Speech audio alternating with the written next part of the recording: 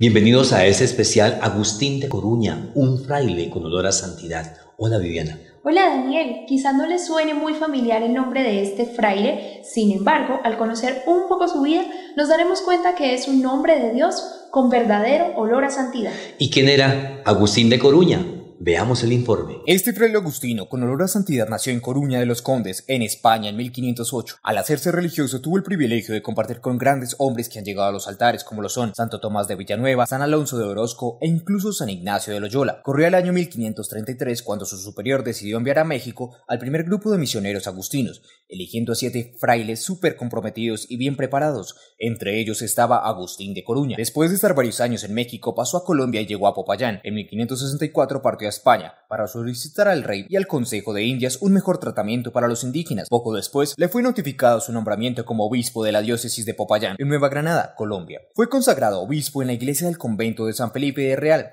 en Madrid, y en octubre de 1565 emprendió el viaje a Nueva Granada, tomando posesión de su diócesis el 3 de marzo del siguiente año, donde fue su segundo obispo. Fue un fraile pobre, sencillo y gran defensor de los indígenas, por lo que le tocó afrontar varias veces el destierro. Fundó el monasterio de la Encarnación, que fue el primer centro de enseñanza para mujeres que hubo en Colombia. Fundó el convento de San Agustín en Popayán. Fray Agustín de Coruña falleció en esta misma ciudad el 25 de noviembre de 1589. Daniel, qué interesante la vida de este fraile misionero Agustín de Coruña. Viviana, pero más interesante aún es que este estilo de vida consagrado a su pueblo está a punto de llevarlo a los altares.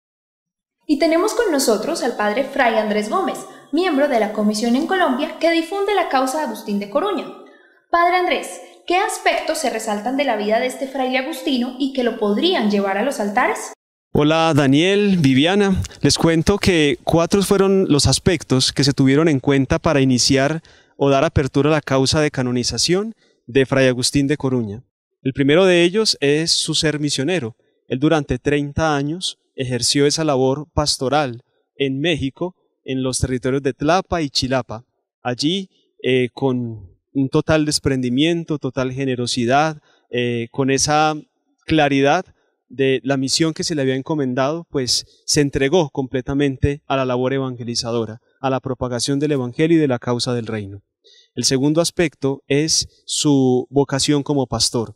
Sabemos que fue nombrado obispo de Popayán, el segundo de esta diócesis, hacia 1561 y hasta 1589, por más de 25 años, ejerció allí su labor pastoral, de una manera abnegada, desinteresada, desprendida, con total humildad, siempre pensando en las ovejas que el Señor le puso en sus manos, que eran las diferentes etnias o comunidades indígenas. El tercer aspecto es su defensa incansable de los indígenas. Sabemos que fue un pastor, un obispo, un religioso completamente entregado a estas personas que el Señor le puso en sus manos, indígenas que muchas veces eran maltratados y a quienes se les violaban sus derechos, y finalmente su fama de santidad. Por más de 180 años después de que él murió, según los testimonios documentales, él fue, se le resaltó su fama de santidad, su pobreza, su humildad, su abnegación, su desprendimiento, ¿no? más que pensar en bienes materiales o económicos, siempre pensó en la salvación de las almas. Y claro, esas virtudes están entre los aspectos que se requieren para que una persona sea declarada santa. Agustín de Coruña fue además el segundo obispo de Popayán. Allí dejó una gran huella. La devoción hacia él es inmensa. Así lo afirma Monseñor Luis José Rueda Aparicio, arzobispo de Bogotá. Los fieles de la arquidiócesis de Popayán en el Cauca recuerdan que la historia de Popayán se ha forjado a través de grandes misioneros que le han dado el oriente, que le han mostrado el camino, que los han llevado con la luz del Evangelio, que los han acompañado. Estamos hablando de Agustín de Coruña y el pueblo del Cauca lo conoce bien, obispo que trabajó incansablemente cuando la diócesis de Popayán era extensa, todo lo que es Nariño, todo lo que es el Cauca, todo lo que es el Valle del Cauca, el eje cafetero, él fue caminando y sembrando la semilla. Allá en Popayán recuerdan a Agustín de Coruña como un misionero en la época de la evangelización inicial, un gran misionero que nos estimula a nosotros a seguir trabajando en la misión de la iglesia. Y Monseñor también hace referencia a una de las tareas que marcó la misión de Agustín de Coruña y que hoy inspira a la iglesia. Quiero recordar solamente una característica muy importante, tal vez la más importante, del gran misionero obispo de Popayán, Agustín de la Coruña. Se dedicó a defender a los indígenas. Fue el gran defensor de los indígenas en el Cauca. Y por eso es muy importante que hoy, cuando el Papa Francisco nos está hablando de cuidar a los pueblos indígenas de la Amazonía y de todas las partes del mundo, pensemos en que estos grandes misioneros nos inspiran en el amor a los pueblos indígenas, en su búsqueda de progreso integral. Acompañar a los indígenas es prolongar la misión de grandes misioneros como Agustín de la Coruña. Sin duda alguna, Agustín de Coruña dejó huellas de santidad. Pero ¿qué pasos son necesarios para que una persona sea declarada santa?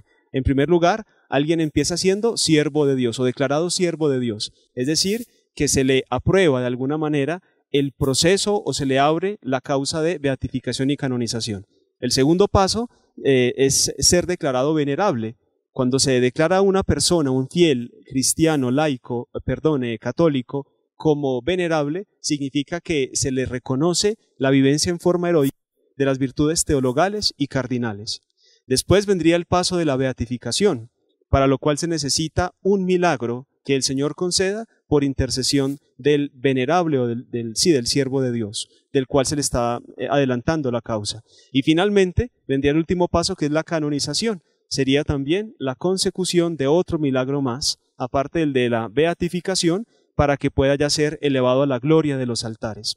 Y finalmente, Padre Andrés, ¿cómo se le puede rendir culto en este momento? El culto que podríamos darle a nuestro hermano Fray Agustín de Coruña es un culto o una devoción privada.